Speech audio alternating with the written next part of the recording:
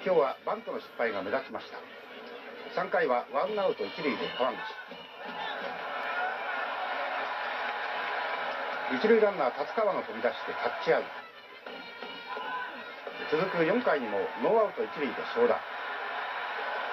まずい攻めで阪神先発野田を攻略できません。両チーム無得点の4回。阪神はワンアウトで5番ヤン。広島の先発は確勝に王手をかけている川口。ツーベースヒットでチャンスを作ります。ツーアウトになって7番真由美インコースのスライダーに思いっきり詰まったという打球がレフトの前に落ちて阪神が均衡を破りました。